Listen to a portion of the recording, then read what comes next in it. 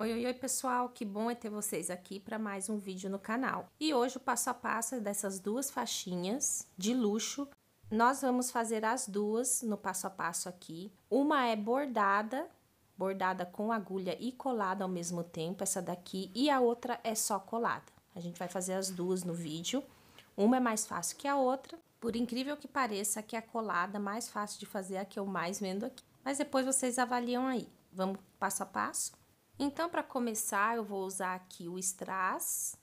Vou cortar é, um, dois, três, quatro. Uma fileirinha com quatro strass é suficiente para essa medida que a gente vai usar, ó. Às vezes eles ficam com umas rebarbinhas em volta, você tira de silicone, porque como a gente vai colar, é bom que não fique sobras dessas rebarbinhas, né? Tô aqui com o feltro branco, e vou usar a cola T6000 para colar. Ó, ele tem dois lados o feltro, né? Um mais cheinho e outro mais lisinho. Então, para bordar, eu vou usar o lado que é mais fofinho, não o lisinho. Colei aqui para ter uma saída do bordado, né? Vou vir aqui no cantinho, assim, bem no cantinho, dar um espacinho essa pérola que eu tô usando é cor pérola, não é branca, tá? Mas se vocês quiserem fazer as outras, eu até fiz, ó. Dei um nó aqui embaixo. As outras que eu fiz, eu fiz no... a pérola branca. Não usei a cor pérola pra fazer, né? Mas vai até facilitar o bordado no vídeo, então ajuda bem, ó. Saí com ele de ladinho, tá vendo? E eu estou usando a pérola número 4 para bordar, tá bom? Peguei e coloquei três pérolas na linha, vou passar a cola do ladinho do strass, assim, e vou vir trazendo a linha por cima da cola. Então, nós estamos colando e bordando ao mesmo tempo. Venho, passo a linha e fixo o ladinho. Próximo ponto. Um pouquinho para cima da última pérola, você vem e passa a linha. Agora, tô colocando quatro pérolas.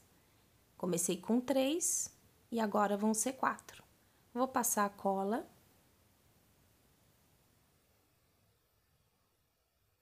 E vou do ladinho para cima da terceira pérola, encaixar assim. E assim nós vamos bordando e colando. Fazer faixinhas de bebê é um ótimo investimento para você captar novos clientes que vão ser clientes seu por uns 10 anos. Ó, tô colocando bem no cantinho, na ponta, e agora eu vou usar cinco pérolas. E, e aí você vai ter uma cliente que vai começar a comprar faixinha, depois vai para os parzinhos, depois para os laços grandes, pasteados por uns 10 anos aí. Ó, colocando bem no cantinho, passei cola essa primeira parte, gente, é mais fácil, porque um lá é o primeiro lado. O segundo lado, ele é um pouquinho complicado, porque logo você perde a linha dele e ele pode sair torto, tá? Então, assista o vídeo inteiro, não pula, porque se você for fazer sem essas dicas, pode ficar torto. Ó, tô vindo aqui no cantinho, é sempre pegando nas pontas, né? Passando a cola e bordando ele é bem mais reforçado. Então, eu tinha usado cinco, né? E agora, eu vou vir aqui do ladinho para fazer o sexto. A sexta carreira com seis. Com seis ou sete? Me perdi aqui agora. Fiquei falando, né? Acho que é sete, é isso, sete. Com sete pérolas. Passei a cola e vamos pegar no cantinho.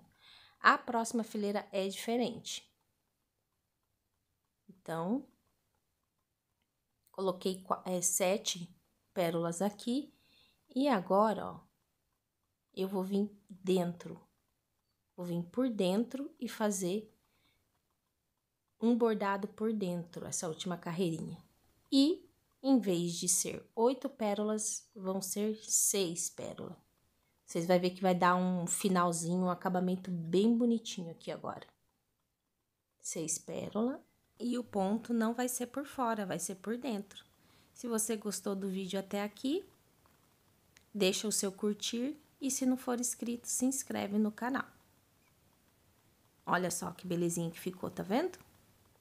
Essa é a última carreira, vou vir arrematando aqui atrás. É, a gente que tem acesso né, aos dados aqui dos vídeos da gente, do YouTube, eu tô vendo que tem várias pessoas que assistem o vídeo três, quatro vezes e não se inscreve. Então, aqui embaixo vai ter um ícone escrito inscrever-se. Então, se inscreva para você não perder os próximos vídeos. Eu achei que ficou meio desalinhadinho aqui a pérola do strass. Mas vamos para o próximo lado. O próximo lado tem que dar um pouquinho mais de atenção para as pérolas ficarem alinhadas. Então, ó, como a gente fez no começo, né? Tô dando o primeiro ponto, um nó por baixo aqui, não se preocupe que depois a gente vai fazer um acabamento para a parte de baixo. E tô saindo com a agulha para cima. É quase a mesma coisa, gente. São as mesmas quantidades de pérola, mas eu vou dar algumas dicas para vocês de como vocês não se perderem. Que os primeiros que eu fiz, eles ficavam tortos, sabe? Então, ó, Voltei a linha aqui, a maneira de fazer é a mesma, né? Vou passar cola, quatro pérolas. Essa segunda carreira a gente já vai ter que é, medir ela. Vou mostrar para vocês como a gente faz para medir. Ó, tem que ver se a parte de baixo tá com a parte de um lado tá dando com a outra. Então, eu pego a régua e venho acertando. Gosto até de fazer na mesa, porque aí qualquer coisa já dou uma empurradinha para cima. Entendeu? Porque senão você começa a bordar mais para baixo mais para cima. Ai, gente, depois que tá tudo bordado e colado, você vê que ficou torto, é uma tristeza. Então, agora eu tô indo para cinco pérolas aqui, então é bom você ir fazendo o outro lado e revisando. Eu faço isso agora, ó, já vou medir de novo. Tá alinhadinho, dá uma apertadinha para não sair do lugar. E assim, ele vai ficando mais perfeito, mais alinhado, né? E por mais, gente, que o seu público seja de meninas grandes, é, sugira para suas clientes, né? Dar de presente. Ah, é. Uma amiga tá grávida, dá lacinho de presente, né? Eu tenho muitos clientes que que pede kitzinho de faixinha, pergunta desse, ah, minha amiga tá grávida, então dá ideia. Vou medir de novo aqui, ó. Dá ideia para para eles que os, as suas clientes vão vai ajudar você a conquistar mais clientes ainda. Então deixa elas fazerem um trabalho para você, só que você precisa fazer as faixinhas, né? Então é isso. Ó, tô na sétima, sete, não é na sétima carreira, na verdade, acho que é na quinta, né? Com sete pérolas. É a quinta carreira com sete pérolas e essa eu vou fazer para dentro com seis, que é a última. Já tô medindo de novo, tudo certinho, tá alinhado. O outro é bem mais fácil, viu, gente? A gente não vai bordar, vai só colar.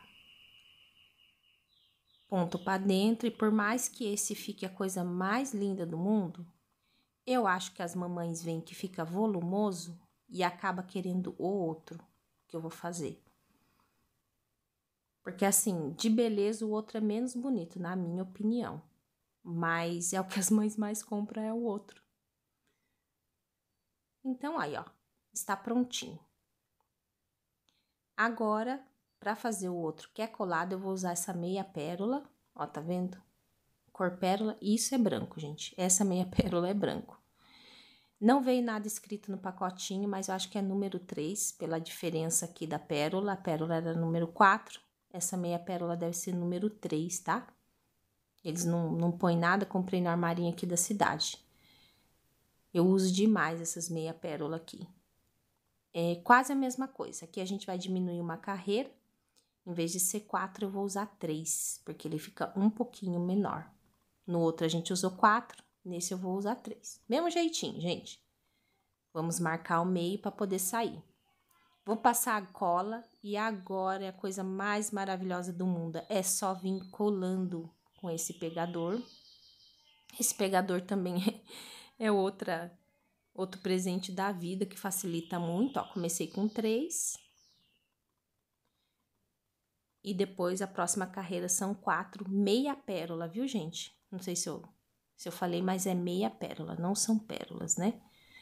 É meia pérola, um lado dela é achatado e isso facilita colar bem aqui, né? Ainda mais com essa cola T6000. Tá vendo? Ó, quatro. E é a mesma coisa do outro, gente. O primeiro lado é a coisa mais fácil do mundo. Já o segundo lado a gente vai ter que ir revisando. Lembrando que tem indicação de materiais com frete grátis aqui embaixo. Eu tenho uma cliente que quase todo mês ela compra um laço para dar de presente. Ela, os filhos dela é adolescente, né?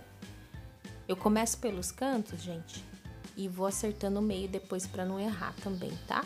Começo pelos cantos e depois vem pondo por dentro. Agora vão ser cinco meia pérola.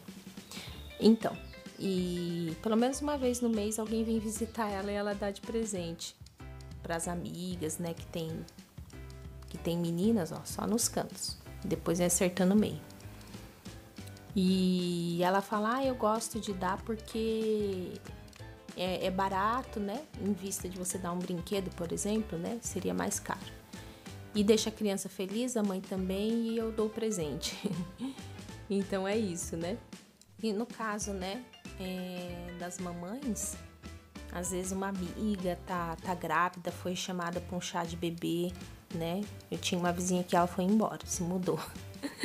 Mas todo chá de bebê que ela tinha, ela levava minha vizinha, tem um kitzinho de recém-nascido, né? E esses de pérola eles gostam bastante, né? Fica chique. Ó, fiz o de 7 aqui, gente. Agora eu vou vir por dentro, né? A mesma coisa do outro. E, e aí já põe seu cartãozinho. A pessoa que recebeu o presente vai começar a te procurar pedindo mais faixinhas. Então, é bom, né? É bom fazer, faz, tira foto, posta. E aí você vai começar uma outra lista de clientes novos. Ó, agora ficou para dentro. Tá vendo? Igualzinho o outro, mas se vocês percebem que fica com menos volume, eu acho que é por isso que as mães preferem esse, gente. Ó como fica achatadinho, né? Vou começar a fazer o outro lado. Embora o outro fique muito lindo, porque a pérola valoriza muito, né? Qualquer acessório. É... O recém tem que começar a olhar se fica alinhadinho aqui, tá, gente? A gente vai ter que ver isso também. É, embora a pérola, a pérola ela valorize muito o laço, é, no recém-nascido as pessoas têm muito receio, né? Ai, vai machucar, ai, vai estar tá muito grosso, muito pesado. E olha lá, ó, ficou lindo, né? Mas às vezes eles acabam não ficando por isso, ó vou medindo, né? Se um lado tá alinhado com o outro e a gente vai colando e fazendo. É, e eu acredito que é por isso que essas daqui que eu tô fazendo agora tá saindo mais que as outras. No varejo, né, quando eu posto assim, a pessoa acaba comprando pela foto. Mas como eu forneço também no atacado, no atacado tem uma visão melhor, porque a pessoa vai lá e pega na mão para ver, né? Tá alinhadinho, tô revisando. E, e aí no atacado eu deixei menos quantidade daquela de bordado e deixei mais desse e esse saiu todos. Ainda ficou daquela de pérola, então a pessoa tem a oportunidade de pegar na mão, ver, né, mais de perto. Eu acredito que as mães devem ter avaliado isso. Ou porque fica menor, gente. Esse daqui depois a gente vai medir, ele fica um tamanho menor, tá? Em comparação com aquele. Não só de espessura, como de tamanho, de largura também. E às vezes as mães querem um mais delicadinho, um pequenininho. Vamos conferir, tudo alinhadinho. Como eu faço esse bastante? Como eu faço esse mais porque o outro vai ser difícil eu errar aqui. Mas vocês sejam criteriosos na hora de fazer. Vai medindo. Porque não tem tristeza pior que você terminar de fazer, querendo ou não dar trabalho, e a hora que você termina você vê que o negócio ficou torto. Ai, então vai medindo, vai vendo se tá os dois lados alinhadinho, que a hora que você terminar, tiver certinho, você vai ter orgulho do seu trabalho. Aí, ó. Se não tiver, só dá uma empurradinha e acertar, eles se alinham, né? E agora acho que essa é a última carreira aqui que a gente vai estar tá fazendo para finalizar. Por dentro agora, tá, gente? Sempre lembra de, da última carreira fazer por dentro, que daí ela fica mais alinhadinha fica com esse toquinho especial, né? A gente vê que ele finaliza diferente, como se o laço estivesse entrando para dentro. Uma belezinha. Então, pelo tempo do vídeo, gente, a gente gastou 10 minutos na outra e 6 nesse. Tá vendo como é bem mais rápido? E é o que vende mais. E a gente vai partir pro acabamento. Olha a diferença. Mesma quantidade de pérolas, mas fica diferente, né? Um mais alto, outro mais achatadinho. E aí a gente vai partir pro acabamento agora. Essa aqui de pérola, a gente toma cuidado, tá? Na hora de cortar, a gente bordou com linha. Se você chegar muito perto das bordas, você pode cortar a linha. Então, corta com um espacinho, né? Dá um espaço nas beiradas que fica melhor. Já essa daqui foi colada, não precisa tanto cuidado assim, né? E aí, a gente vai colar por cima do feltro agora. Vamos pegar outro outro pedacinho de feltro e colar por cima e finalizar. E nada impede vocês, hein, gente, de, de fazer na presilha também, tá?